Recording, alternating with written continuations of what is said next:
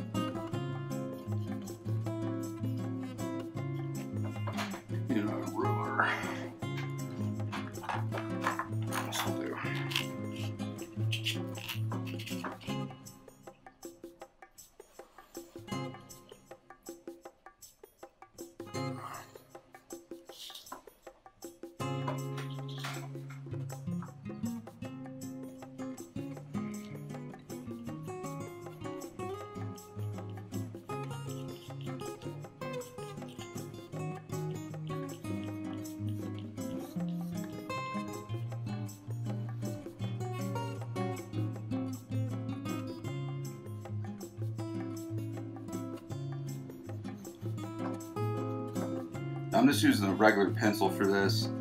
Uh, you know, that's not the best in use.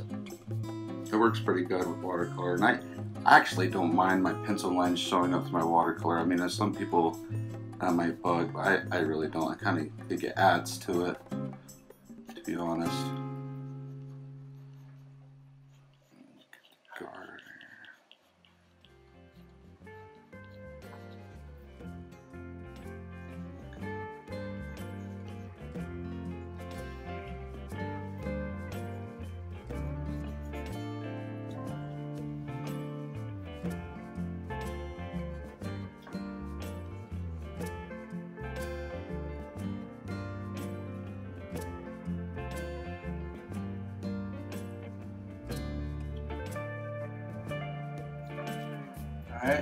The basic shape in there now. Just come through and refine, make sure this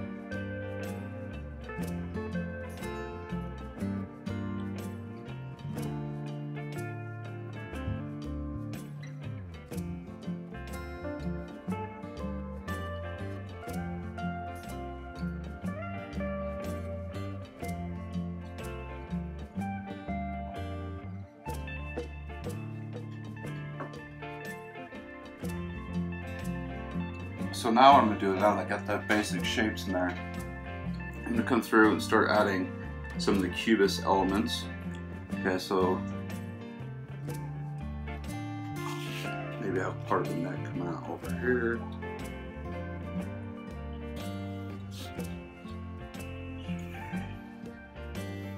part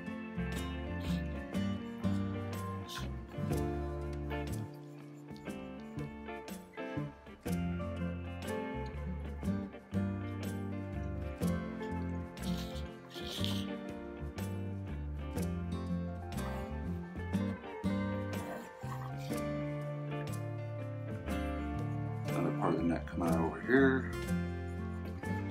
Just the shape of the neck, just to kind of start making this abstract. Get the frets in.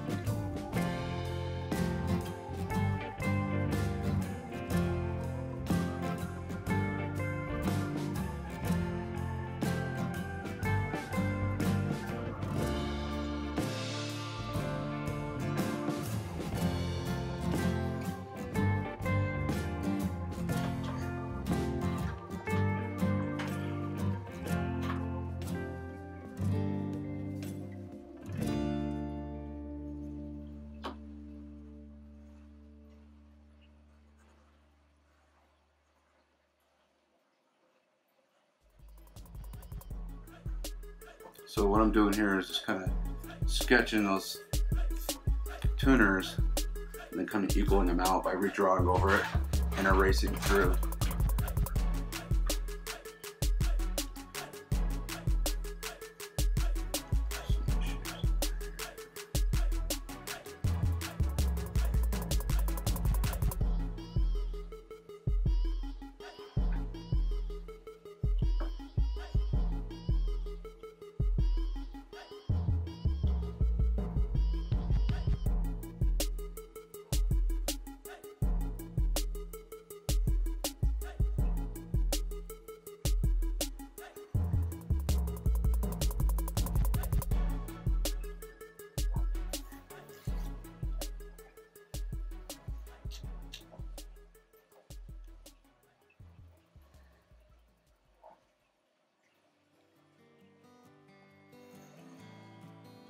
Then I'm going to do is to start putting some horizontals and vertical lines in, um, some shapes, then that, that I can make this into a cubist piece. So I, just, so I have this shape. It's not really there, but I'm going to add it in there because I think it'd be an interesting place for it.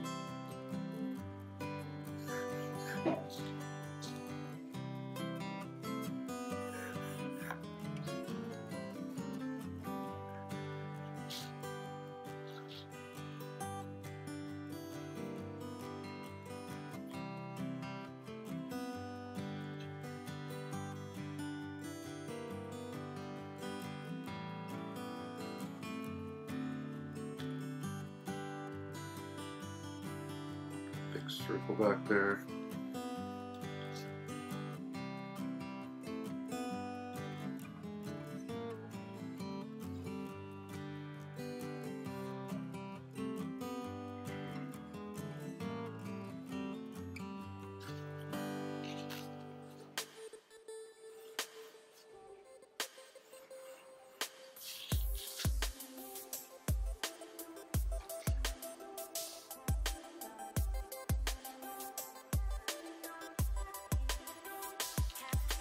So what I'm gonna do, I'm gonna uh, just keep working on this, um, fill in just different lines and shapes, then I'll come back to you.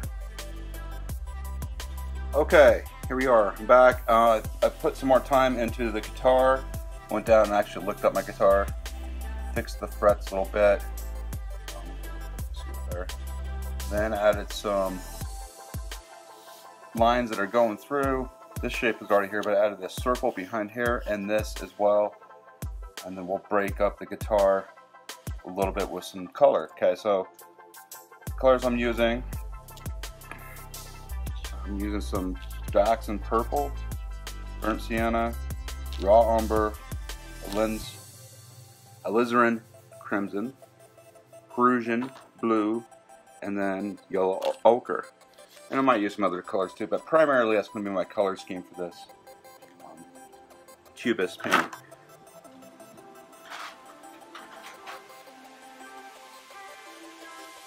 Okay, starting out, I'm just going to block in some color, shape by shape, form by form. Just kind of um, go around putting some warm and cool colors together, balancing out with some brown.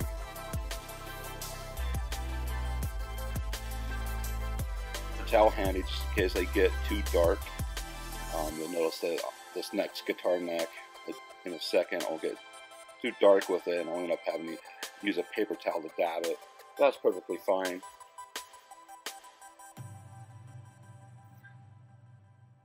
And then I'm using colors It's coming, going through and just defining different shapes, different forms, different lines that I see within the Cubist painting.